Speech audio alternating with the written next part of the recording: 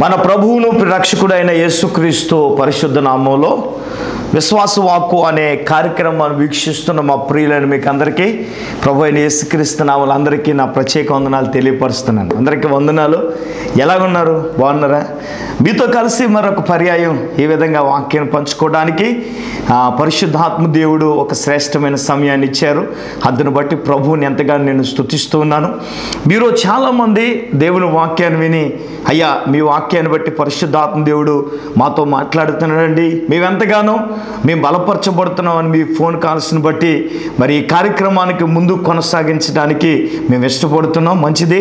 తప్పకుండా మీరు మరి వాక్యం వినడమే కాకుండా తప్పకుండా ఈ యొక్క వాక్యం ద్వారా మీరు బలపడినట్లయితే మరి ఈ యొక్క విశ్వాస వాక్ అనే కార్యక్రమానికి కూడా మరి ఆర్థికంగా కూడా కొంత సహకరించాలని సహకారం చేయాలని ప్రభు పేరట మీకు మేము మనవి చేస్తూ ఉన్నాం. ఒకవేళ మీరు ఏదైనా ప్రభు ప్రేరేపిస్తే కనుక మా స్క్రీన్ మీద ఉన్న ఫోన్ నెంబర్లకి తప్పకుండా మీరు కాంటాక్ట్ చేయాలని ప్రభు పేరట నేను మీకు మనవి చేస్తూ ఉన్నాను. మంచిది దేవుని వాక్య ధ్యానంలోనికి మనం వెళ్దాం. తప్పకుండా మీరు అటు ఇటు తిరగకుండా మీ బైబిల్ చేత పట్టుకుని కూర్చుని దేవుని వాక్యం వినాలని ప్రభు పేరట నేను మనవి చేస్తూ ఉన్నాను. ఎందుకంటే వాక్యం చెప్తున్నప్పుడు మన మనసులు మన ఆలోచనలు దేవుని వైపు కేంద్రీకరించాలి. దేవుని మీద కేంద్రీకరి ఉంచినప్పుడే ఆ దేవాది దేవుడు ఆయన వాక్యం ద్వారా మీతో నాతో అందరితో కూడా మాట్లాడతాడు నా ప్రియమైన వాళ్ళ ఎందుకంటే వాక్యం మీద మన మనసు ఉంచాలి తప్ప ఇంకొక వేరొక ఆలోచనతో మనం మరి కార్యక్రమం జరిగేటప్పుడు వేరొక ఆలోచన ఉండకూడదని ప్రభు పేరట ప్రేమతో మీకు ఈ మాటని నేను జ్ఞాపకం చేస్తున్నాను. ఈరోజు మనకి ఇచ్చే అంశం ఏంటంటే అతిశయం. ఈ రోజున మనము ఈ లోకంలో మన వేటి విందు మనం అతిశయించాలి. చాలామంది ప్రియులరా ఈ లోకంలో ఏమండి వాళ్ళకున్న స్థితిని బట్టి అతిశయపడే వాళ్ళు ఉన్నారు అందాన్ని బట్టి అతిశయపడే వాళ్ళు ఉన్నారు వాళ్ళకున్న అధికారాన్ని బట్టి అతిశయపడే వాళ్ళు ఉన్నారు వారికున్న స్థితిని బట్టి అతిశయపడే వాళ్ళు ఉన్నారు ఈ లోకంలో ప్రియులరా మనుషులు ఏమన్నా లోక సంబంధమైన వాటి ఎందు అతిశయించే వాళ్ళు చాలామంది ఉన్నారు. ఇప్పుడు దేవుని బిడలంగా ఆయన రక్తం చేత కడగబడిన మనం ఆయన ప్రజలమైన మనం ఆయన బిడలమైన మనం వేటి మీద మనం అతిశయించాలి? వేటి మీద అతిశయించకూడదు? ఏమండి? వాక్యములో నుంచి కొన్ని మాటలు మీకు నేను జ్ఞాపకం చేయాలని ఆశపడుతూ ఉన్నాను. దేవుని బిడ్డలైన వారు వేటి ఎందు అతిశయించకూడదు? పరిశుద్ధ గ్రంథమైన బైబిల్లో నుంచి ఇర్మియా గ్రంథము తొమ్మిదో అధ్యాయం ఆ ఇరవై మూడో వచనాన్ని చదవాలని నేను అనుకుంటూ ఉన్నాను. యహోవా ఎలాగు సెలవిస్తున్నాడు? జ్ఞాని తన జ్ఞానమును బట్టి సూర్యుడు తన శౌర్యమును బట్టి అతిశయింపకూడదు. ఐశ్వర్యవంతుడు తన ఐశ్వర్యమును బట్టి అతిశయింపకూడదు. చూడండి అననాడు ఇస్రాయేలీల ప్రజలకు ప్రవక్త అయిన ఇర్మియా ద్వారా దేవాది దేవుడు ఇలాగ సెలవిస్తూ ఉన్నాడు. మొట్టమొదటిగా ప్రియులర జ్ఞానట తన జ్ఞానమును బట్టి ఏం చేయకూడదు?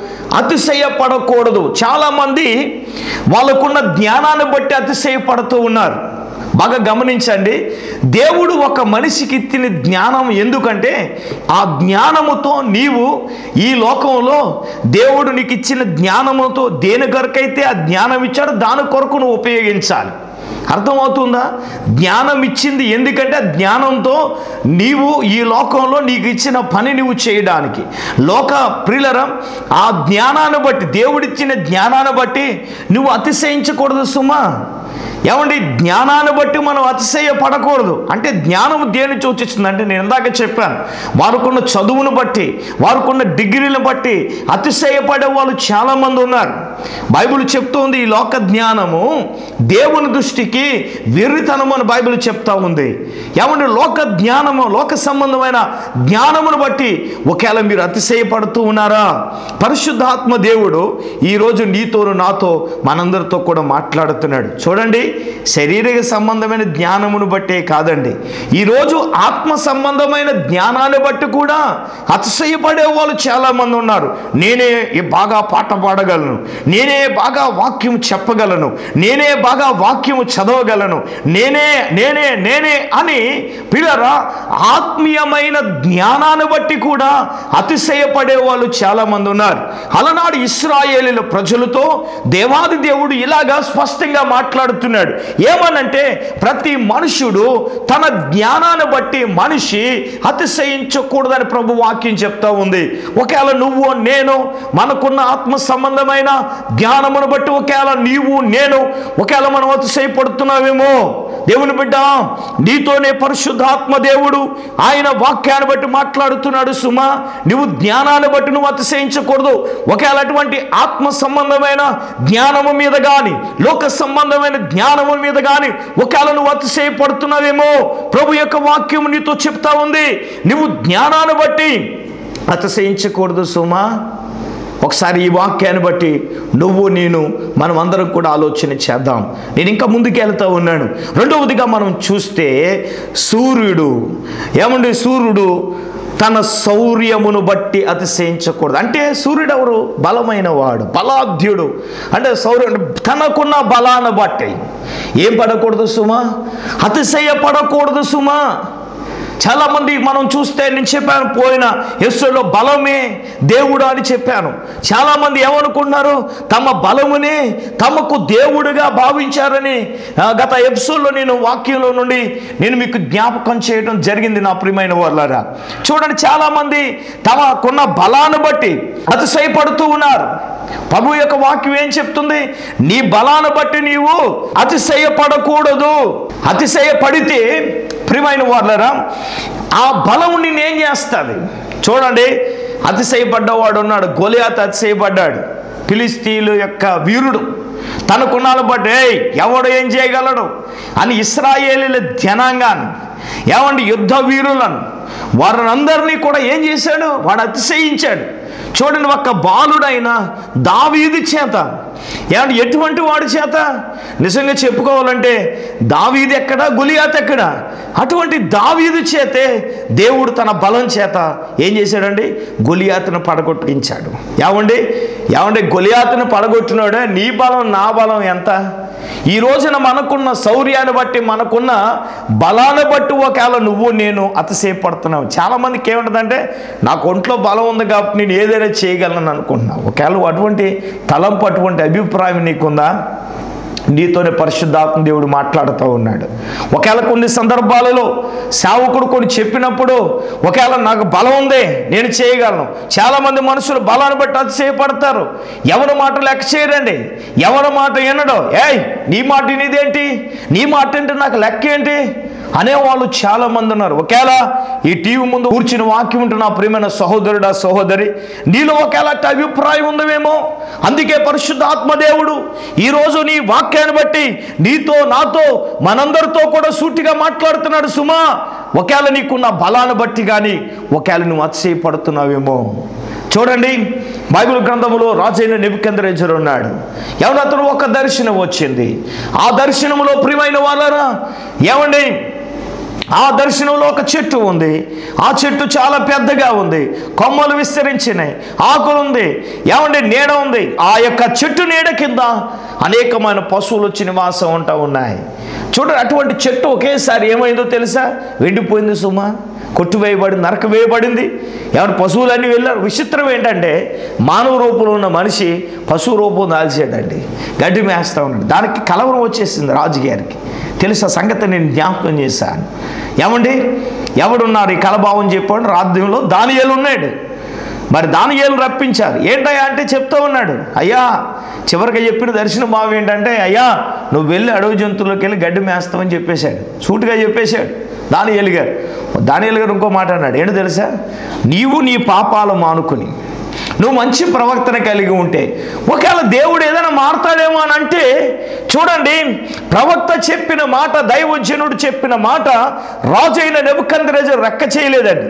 ఈరోజు ఎందుకంటే ఎందుకు లెక్క చేయలేదు? వాడేమనుకుంటున్నాడు? నా బలాధికారం నా రాజ్యాధికారం నేను కట్టించింది కదా అనుకుంటున్నాడు. నా బలం నా బలం. అంటే వాడుకున్న బలాన్ని బట్టి రాజైన నెబుకందరేజు ఏమన్నాడు అతిశయపడ్డాడు.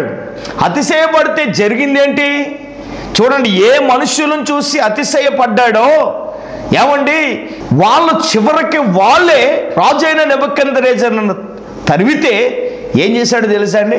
ప్రజల మధ్యలో నుంచి వెళ్ళి అడవిలోనికి వెళ్ళి అడవి జంతువుల వలె గడ్డి వేశాడు అర్థమవుతుందా? రాజైన నబుకందరేజరు బలమును బట్టి అతిశయపడ్డాడు. ఈరోజు మీలో చాలామంది మీకున్న బలాన్ని బట్టి అతిశయపడుతున్నారా? మూడవదిగా మనం చూస్తే ప్రిలరా ఇక్కడ ఏమంటున్నాడు ఐశ్వర్యవంతుడు.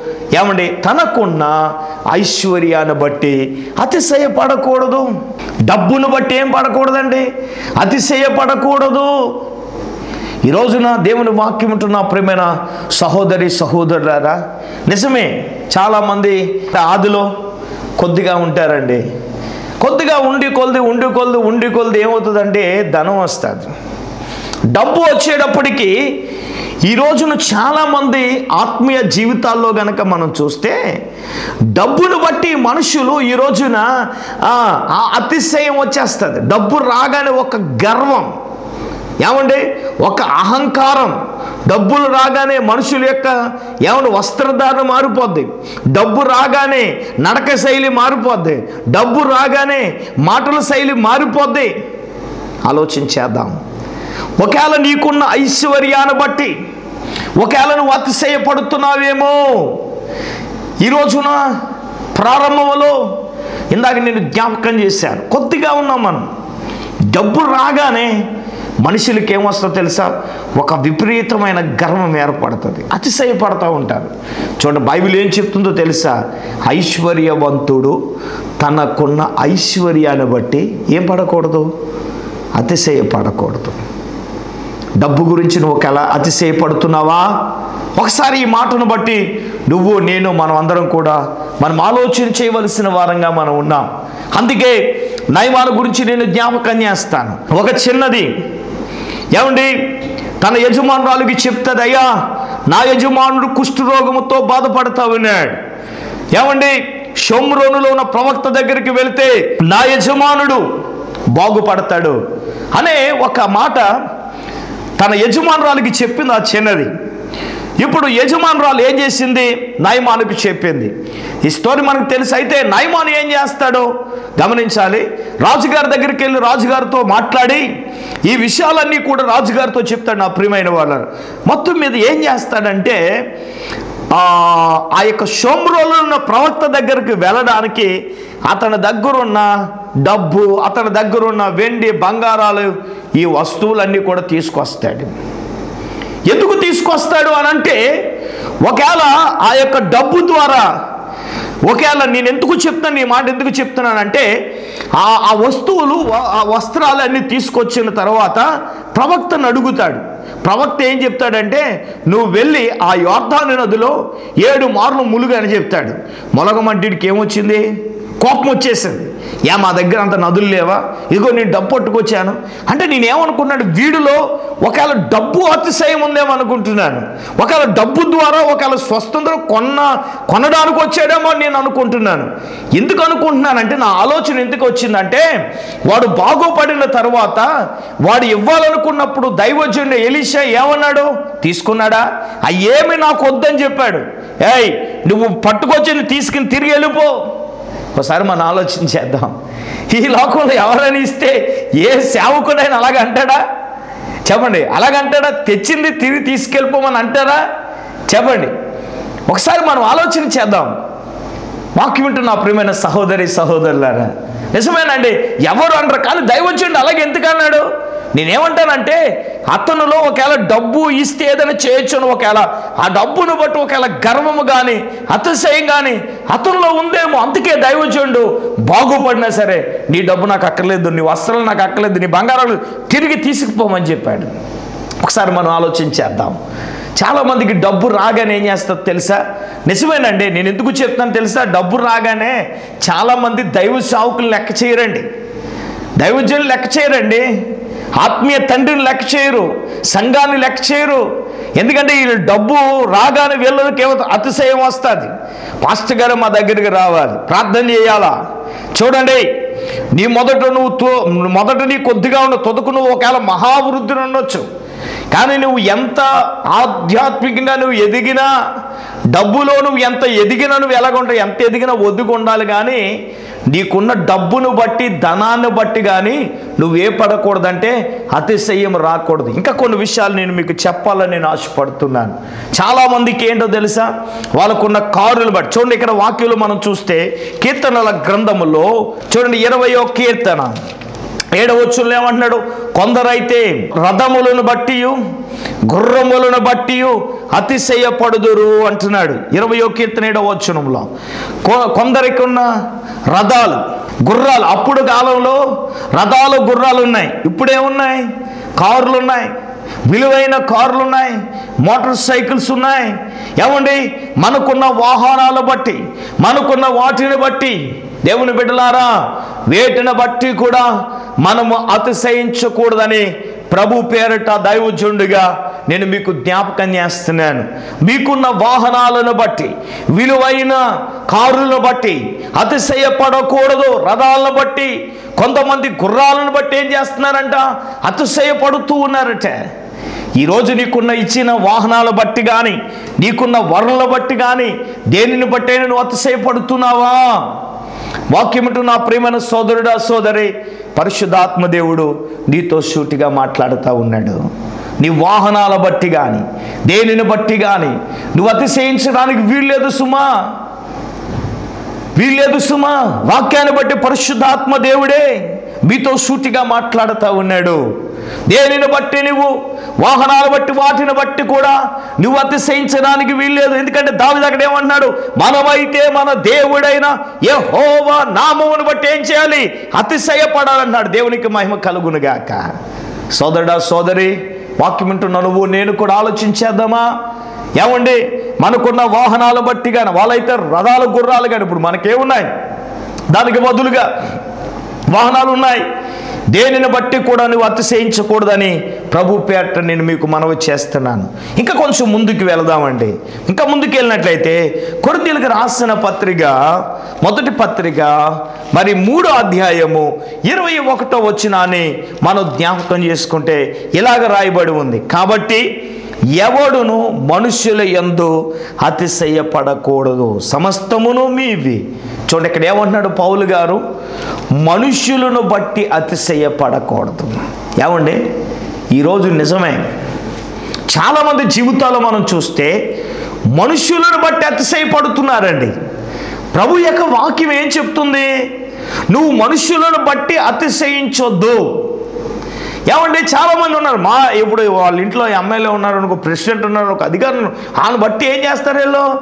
అతిశయపడుతూ ఉంటారండి. మనుషులను బట్టి నువ్వు అతిశయపడడానికి వీల్లేదు. మనుషులు ఎంతకాలం అండి?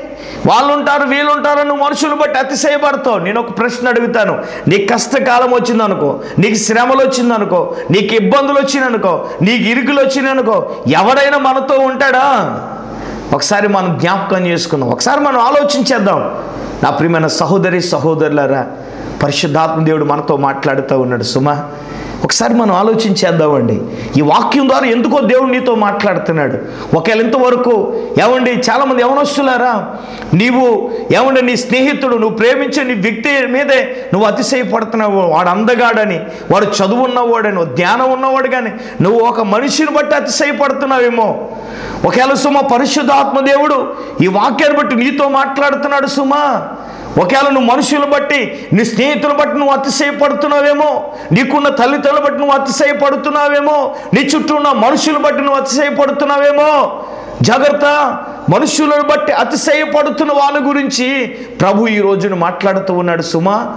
నీ జ్ఞానాన్ని బట్టి నువ్వు అతిశయపడకూడదు. నీకున్న శౌర్యాన్ని బట్టి నువ్వు అతిశయపడకూడదు. నీకున్న ఐశ్వర్యాన్ని బట్టి నువ్వు అతిశయపడకూడదు. నీకున్న వాహనాల బట్టి ఏమండి నీకున్న కారుల బట్టి నువ్వేం చేయకూడదు? అతిశయపడకూడదు. చివరికి మనుషుల బట్టి కూడా నీవు అతిశయపడకూడదు. అయ్యా పాస్టర్ గారు ఎంతవరకు మీరు చెప్పారండి? మరి మేము ఎవరి ఎందు అతిశయించాలి? ఇందాక దావీదే చెప్పాడు ఏమని? మనమైతే దేవుని నామమును బట్టి యహోవా ఎందే మనం ఏం పడాలన్నాడు? అతిశయపడాలన్నాడు? చూడండి ఆ ఇర్మియా గ్రంథములో కూడా ఇర్మియా ఏమన్నాడు? దాన్ని కంటిన్యూ చదివితే మనకు అర్థమవుతుంది ప్రియులారా. ఇర్మియా ఏమన్నాడో నేను మీకు జ్ఞాపకం చేస్తా ఉన్నాను. అతిశయించి వాడు దేనిని బట్టి అతిశయింపవలనగా భూమి మీద కృప చూపుచు నీతి న్యాయములు జరిగించు. యహోవాను నేనే అని గ్రహించి నన్ను పరిశీలనగా తెలుసుకొనుట బట్టియే అతిశయింపవలను. దేవునికి స్తోత్రం కలుగునుగాక. చూడండి అతిశయించేవాడు దేనిని బట్టి అతిశయించాలి? భూమి మీద కృప చూపుచు నీతి న్యాయములను జరిగించు. యహోవాను నేనే అని గ్రహించి నన్ను పరిశీలనగా తెలుసుకుంటాను బట్టి మీరేం చేయాలి? దేవునిని బట్టి అతిశయించాలండి. భూమి ఆకాశంలో సృజించిన దేవుడు భూమి మీద సమస్తాన్ని జరిగించిన దేవుడు. ఏమంటే ఆ దేవుని అందే మనం ఏం చేయాలి? అతిశయించాలి కానీ ఈ లోకములో నీకున్న జ్ఞానాన్ని బట్టి కానీ నీకున్న బలాన్ని బట్టి కానీ నీకున్న ఐశ్వర్యాన్ని బట్టి కానీ నీకున్న వస్తు వాహనాలను బట్టి కానీ ఏమంటే మనుషులను బట్టి కానీ అతిశయించకూడదు సుమా. అతిశయించేవాడే ప్రభువును బట్టి అతిశయించాలా? చూడండి ఇక్కడ ఎరుమి అంటా ఉన్నాడు. ఇందాక దావీదు మనం చదువుకున్నాం. ఏమండి? మన దేవుని నామమును బట్టే మనం అతిశయించాలి కానీ దేనిని బట్టి అతిశయించడానికి వీలు లేదు నా ప్రియమైన వాళ్ళారా చూడండి అపోసుడైన పావులు కొరిందీలు రాసిన పత్రికలో కూడా మొదటి అధ్యాయం ముప్పై ఒకటో వచ్చిన ఈ విధంగా సెలవిస్తున్నాడు. అతిశయించేవాడు ప్రభువునంది అతిశయించాలని వ్రాయబడి నెరవేరినట్లు దేవుని మూలంగా ఆయన మనకు జ్ఞానమును నీతియు పరిశుద్ధతయు విమోచనం ఆయన చెప్తున్నాడు. దేవుని బిడ్డారా చాలా జాగ్రత్తగా మనం గమనించాలి. ఏమన్నా అతిశయించే మనము ప్రభువునందే అతిశయించాలి కానీ దేనిని బట్టి కూడా మనం అతిశయించకూడదు. ఈరోజు చాలామంది ప్రభువును బట్టి అతిశయించడం మానేసి జ్ఞానాన్ని బట్టి ఏమండి వాళ్ళకున్న బలాన్ని బట్టి ఐశ్వర్యాన్ని బట్టి వాళ్ళకున్న వాహనాలను బట్టి మనుషులు బట్టి అతిశయపడుతూ ఉన్నారు. దైవ జనాంగం ఆ దేవుని పిల్లలారా మనం ఆలోచించేద్దాం పరిశుద్ధాత్మ దేవుడు మిమ్మల్ని ఆలోచింప చేయడానికి మనం వేటి ఎందు అసి అతిశయపడకూడదు. ఎవరి ఎందు మనం అతిశయించాలంటే ప్రభువుని బట్టి అతిశయించాలి. చూడండి ఇక్కడ పౌరుడు చక్కని మాటలు చెప్తున్నాడు. అతిశయించేవాడే ప్రభువుని బట్టి అతిశయించాలి. ఎందుకు? దేవుని మూలంగా ఆయన మనకు ఏమయ్యాడు? జ్ఞానం. ఏమండి? ఆ జ్ఞానాన్ని బట్టి ఎందుకు? జ్ఞానం ఆయనే. ఇప్పుడు అంతే ఇక్కడ ఏమన్నాడు? ఆయన మూల జ్ఞానము నీతి పరిశుద్ధత విమోచనం ఆయన. ఎవరి ద్వారా? ఏసయ్య ద్వారా. ప్రభుని బట్టే కదండి. ఈరోజు ఈ జ్ఞానం ఎవరిచ్చాడు? ప్రభువే కదా. బలం ఎవరిచ్చారు? ఆయన ఇచ్చారు కదా. ఐశ్వర్యం ఎవరిచ్చారు? ఆయన ఇచ్చారు కదా. వాహనాలు అని ఎవరిచ్చారు? ఆయన ఇచ్చారు కదా. ఈ మనుషుల చేతులు ఎవరిచ్చారండి? ఆయన ఇచ్చారు కదా. ఆయన ఇచ్చిన దానిని బట్టి ఆయన ఎందు అతిశయించటం మానేసి దేవు వాటి మీద మనం అతిశయపడితే ఎట్లాగా? ఈరోజు మనం ఆలోచించేద్దాం పరిశుద్ధాత్మ దేవుడు చెప్తున్నాడు దేవుని మూలంగా ఆయన మనకు అంటే ఏసయ్యే జ్ఞానం ఇచ్చాడు. నీతి పరిశుద్ధత విమోచనాన్ని ఇచ్చిన ఆయనే కాబట్టి మనం ఆయన ఎందు అతిశయించాలి కానీ ఈ లోకంలో ప్రియమైన వాళ్ళరా మనుషులు ఎందు మనం అతిశయించడానికి వీల్లేదు సుమా. ఈ వాక్యాన్ని బట్టి నా ప్రియమైన సహోదరి సహోదరులరా పరిశుద్ధాత్మ దేవుడు నీతో మాట్లాడుతున్నాడు. పౌలు గారి ద్వారా అలాడు కొరింది సంఘంతో మాట్లాడినట్లుగా ఈరోజు దైవజనుని ద్వారా ఏమండి ఈ కార్యక్రమం ద్వారా టీవీ ముందు కూర్చున్న వాక్యం నీతోనే మాట్లాడుతున్నాడు. నువ్వు ప్రభువు నందు అతిశయపడకుండా ఉంటున్నావేమో జాగ్రత్త అని హెచ్చరించడానికి ప్రభు నీతో మాట్లాడుతున్నాడు సుమా. మరొక మాట నేను జ్ఞాపకం చేస్తా ఉన్నాను. కొరందీలకు రాసిన పత్రిక పదవ అధ్యాయం చూడండి పదిహేడు వచ్చిన నేను చెప్తున్నాను. అతిశయించువాడు ప్రభువునంది అతిశయింపవలను. ప్రభువు మెచ్చుకున్నవాడే యోగ్యుడు కానీ తన్ను తాను మెచ్చుకున్నవాడు యోగ్యుడు కాడు సుమ. ఇక్కడ ఇంకొక మాట చెప్తున్నాడు. అదేంటంటే అతిశయించువాడు ప్రభువును బట్టి అతిశయించాలి. ప్రభువు మెచ్చుకున్నవాడు యోగ్యుడు కానీ తన్ను తాను మెచ్చుకున్నవాడు యోగ్యుడు కాడు సుమ. ప్రభువే నిన్ను నన్ను మెచ్చుకోవాలి. అప్పుడే మనం యోగ్యులం. ప్రభు మనల్ని ఎప్పుడు మెచ్చుకుంటాడు? ఒక ప్రశ్న. ఒక ప్రశ్న వేసుకోవాలంటే నువ్వు ప్రభువును బట్టి అతిశయపడితే ప్రభువు నిన్ను చూసి మెచ్చుకుంటాడు. అంతేగాని తనను తాను అంటే మనల్ని మనమే మెచ్చుకుంటామంటే మనం యోగ్యులం కావండి. ఈ రోజున చాలామంది ఇలాగా మనుషులు తనను తానే మెచ్చుకుంటారు. వాక్యం ఏం చెప్తుంది తెలుసా? నిన్ను నీవు మెచ్చుకుంటే ఏమన్నా అది? దానివల్ల ఏం ప్రయోజనం కాదు. ప్రభువు మనం మెచ్చుకోవాలి. ఎవడు ప్రభువు మనం మెచ్చుకున్నవాడు యోగ్యుడని దేవుని యొక్క లేఖనము దేవుని యొక్క వాక్యం సూటిగా స్పష్టంగా మనకు సెలవిస్తుంది నా ప్రియమైన వాళ్ళారా. ఒకసారి మనం ఆలోచన చేద్దాం. ఈరోజు వాక్యం ఉంటే నీతో నాతో ప్రభు మనతో మాట్లాడుతున్నాడు. అందరూ మోకరించండి కళ్ళు మూసుకోనండి. ఒకేలా నీకున్న జ్ఞానాన్ని బట్టి నువ్వు అతిశయపడుతున్నావు ప్రభువా నీవే నాతో మాట్లాడుతున్నావు ప్రభువా. నేను జ్ఞానమును బట్టి అతిశయపడను. ఒకవేళ నీ బలాన్ని బట్టి శౌర్యాన్ని బట్టి నువ్వు అతిశయపడుతున్నావు ప్రభుతో చెప్పు. ప్రభువా నీకున్న జ్ఞానాన్ని బట్టి కానీ బలాన్ని బట్టి కానీ నేను అతిశయపడినాను. మూడవదిగా ఐశ్వర్యాన్ని బట్టి కానీ నువ్వు అతిశయపడుతున్నావు. దేవుడు నీతో మాట్లాడుతున్నాడు సుమా. నువ్వు విడిచిపెట్టుకో. నీకున్న రథాలు అంటే వాహనాలు వాహన వాహనాలు చూసిస్తున్నాయి. నీకున్న కాళ్ళు బట్టి కానీ దాన్ని బట్టి కానీ నువ్వు అతిశయపడుతున్నావేమో చివరిగా మనుషులు బట్టి నువ్వు అతిశయపడుతున్నావు ప్రార్థన చేసుకుందాం. మహాగణుడైన మా తండ్రి మహోన్నతుడ. జీవాధిపతి అని వేసాయ ఇంతవరకు నీ వాక్యం ద్వారా మాతో మాట్లాడవు నాయన. మనుషులు ఈ లోకములో ప్రభు నాయన జ్ఞానాన్ని బట్టి బలాన్ని బట్టి వారికున్న ఐశ్వర్యాన్ని బట్టి వాహనాలను బట్టి మనుషులు అతిశయపడతారని అయ్యా అతిశయించేవాడు ప్రభువును బట్టి అతిశయించాలని నీవు మాకు అనుగ్రహించిన ఈ యొక్క ఆత్మ సంబంధమైన ఈ వాక్యాన్ని బట్టి నీకు వందనాలు స్తోత్రాలు చెల్లిస్తున్నాం. విత్తబడిన మాటల్లో నీ బిడ్డ హృదయాలలో ఈ మాటలో నీరు కట్టి ఫలింప చేయను నాయన నీకు వందనాలు. తండ్రి విశ్వాస వాక్ అనే కార్యక్రమాన్ని వీక్షిస్తున్న మా ప్రియ బిడ్డలందరినీ దీవించి ఆశీర్వదించి వారు నీ అందు అతిశయించి నీ దగ్గర నుంచి ఆశీర్వాదాలు పొందుకునే వారుగానే బిడ్డలు చేయమని ప్రార్థన చేస్తున్నాను. బలహీనైన వారిని బలపరచండి స్వస్థపరచండి. ఎవరికి అవసరాలు ఉన్నప్పటికీ కూడా ప్రభు మీ నామములో తీర్చమని ప్రార్థన చేస్తున్నాం.